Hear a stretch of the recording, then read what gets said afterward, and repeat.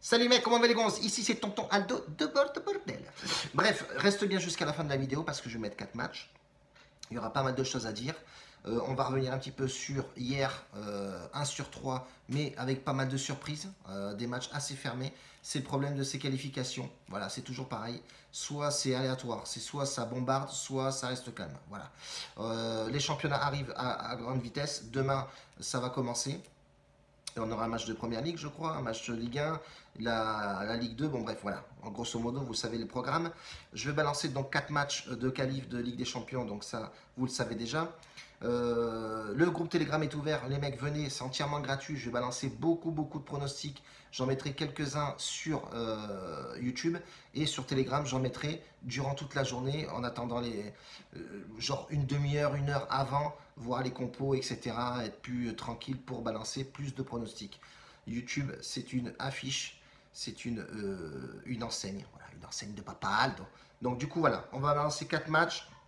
Revenir sur hier, ça va être très rapide. On passe 1 sur 3, mais euh, avec des pourcentages très faibles. J'avais prévenu que modérer vos mises. La gestion de Bockroll est très importante d'ailleurs. Dans le lien de la description ici en bas, tu verras tous les liens. Il y a un lien forcément si tu veux te mettre un compte Unibet, il y a mon code promo, tout le monde le fait. Euh, si tu vas aller acheter des bouquins sur les, pronostics de foot, mais c'est du loto foot, euh, le mec apprend effectivement à gérer euh, à gérer les over et les under, etc. Ce qui est plutôt pas mal aussi. Il y a un truc sur l'autofoot qui est plutôt bon.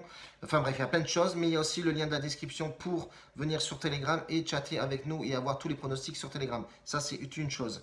Euh, deuxième chose aussi, il y a le bet bankroll. Moi, j'affiche tous mes pronostics et les mises que je fais. Comme ça, vous pouvez voir en toute transparence comment ça gère, comment on gère forcément les pourcentages, les probabilités, etc. Donc, balle, Grosse surprise, ils nous ont mis euh, dans le rouge. Euh, Olympiakos, remboursé si nul, il passe avec une cote à 1,82. C'était plutôt pas mal. On était à 54% de, probabilité pour que ça passe.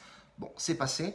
Euh, et euh, contre FC Porto, les deux équipes marquent à 57% de probabilité pour que ça passe. Porto s'est réveillé en fin de match 1-0. Voilà, c'est malheureusement le football. Quatre matchs, donc je le dis, on va commencer par les deux premiers. C'est Astana contre Valetta. Astana, équipe euh, Kazakhstan, je crois que c'est. Valetta, Malte. Malte, championnat de Malte, pas au top.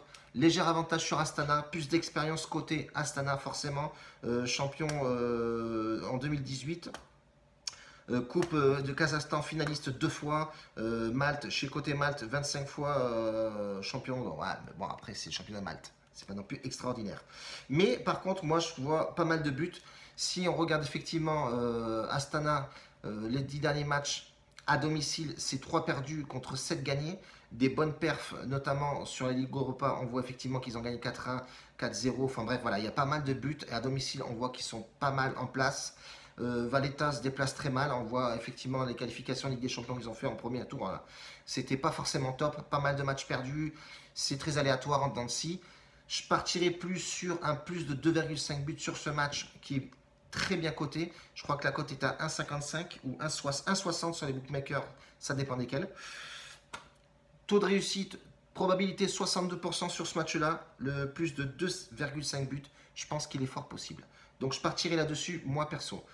Deuxième match, on va partir euh, en Arménie. Alors c'est Poudnik qui joue les Wolves, les Loups.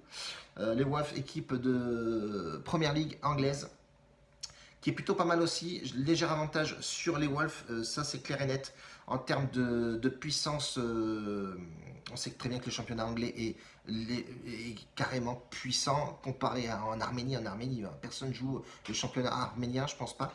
Euh, mais moi je partirais sur les Wolves qui, sont plutôt costauds. Alors la cote, tu vois, elle va rigoler, la cote elle est pourrie. Si tu joues les Wolves en, sec, on a 1,16, c'est dégueulasse.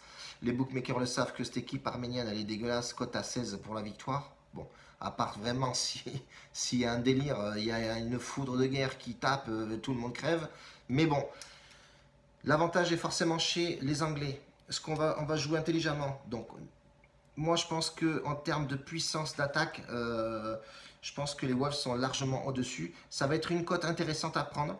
En première mi-temps, je vois bien le plus de 1,5 but, même si on regarde les 5 derniers matchs de, des Arméniens, c'est pas forcément top. Ils se sont pris quand même pas mal de buts.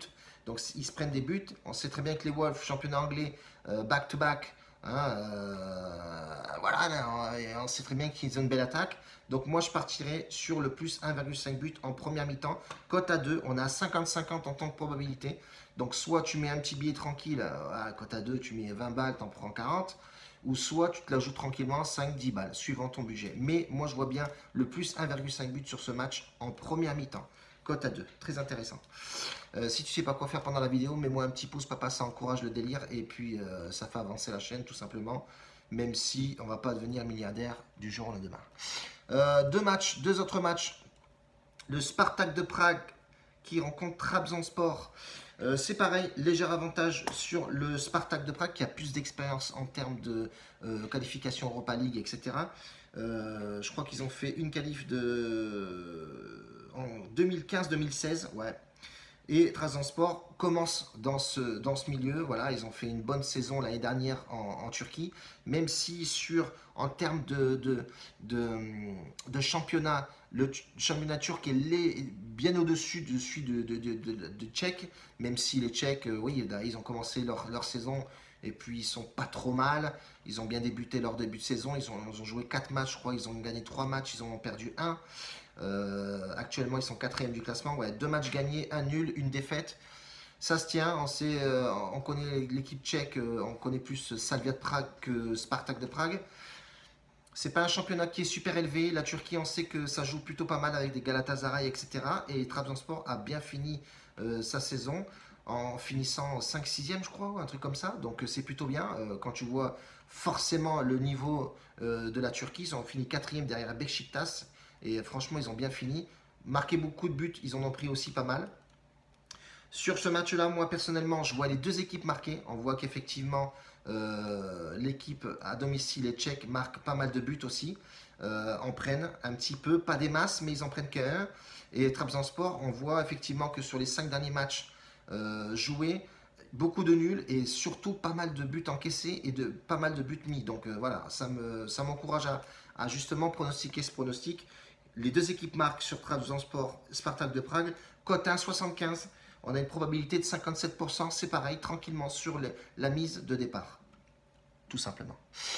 Et le dernier match, les mecs, c'est euh, Brøndby, euh, danois, équipe danoise, qui rencontre le Braga de Portugal.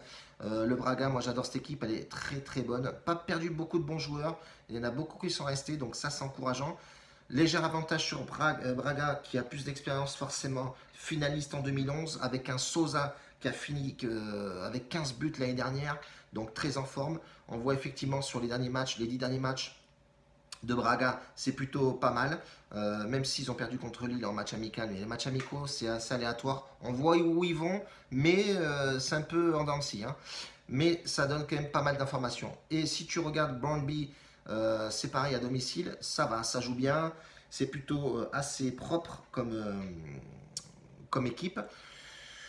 Mais Braga, attention, attention Braga, c'est assez costaud quand même. Ça joue bien au ballon, c'est portugais, ça, ça a bon toucher de balle.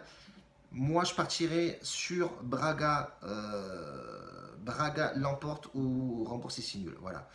j'ai pas regardé la cote, j'ai pas vu la cote. Euh, mais c'est un bon pronostic dans le sens où, ben, ou alors il va avoir du but. Voilà. Mais moi, je partirai sur Braga. J'ai même envie de le mettre en sec. On peut voir que Brøndby aussi a perdu son dernier match en, championnat. Donc voilà, c'est euh, c'est assez aléatoire. Hein. c'est un coup ça gagne, un coup ça gagne pas. Mais euh, faut se méfier. Ces équipes danoises, ça marque pas mal de buts. Euh, faut se méfier, mais Braga est légèrement au-dessus. Donc voilà, soit on joue euh, Braga gagne et rembourser si nul. Et j'ai même envie de même mettre deux paris sur ce, sur ce prono-là, mettre le, plus de 2,5 buts. Je pense que c'est un pari qui, peut passer. Ça marque des deux côtés. Euh, c'est plutôt assez costaud aussi des deux côtés. Mais moi, ce qui m'encourage à mettre euh, soit Braga gagne le match, rembourser si nul. On va se la jouer comme ça. Et on va mettre le plus de 2,5 buts sur le match. Euh, la cote est plutôt pas mal, elle a 1,70. Elle est jouable. Je vais juste vérifier la cote pour vous. Euh, ouais, c'est ça, 1,75. Euh, ce qui est plutôt même bien. On peut même jouer les deux équipes marques sur ce match. Enfin bref, il y a pas mal de choses à mettre. Je mettrai tout en description dans la vidéo. Vous inquiétez pas sur ce pronostic-là. En tout cas, voilà, ça fait 4 pronostics. euh, qui sont plutôt pas mal, bien analysés, propres. Durant la journée, euh, si j'ai une demi-heure, une heure à tuer, je, prendrai deux autres matchs. Euh, il y en a pas mal, donc c'est pour ça deux autres matchs, et histoire de bien visualiser où on va, et surtout faire du gain, c'est la base. Merci de me suivre les gars, n'oublie pas, abonne-toi si t'es pas abonné, et voilà, fais ton délire papa. Un bacio a tutti, ciao